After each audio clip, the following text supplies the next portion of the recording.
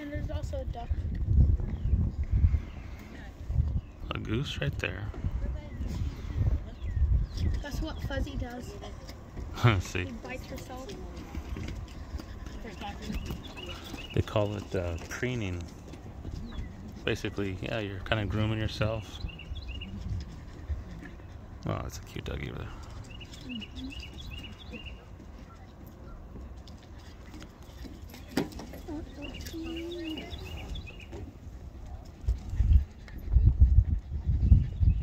guess with the grass is not tall now, it's nice to see wildlife, I guess.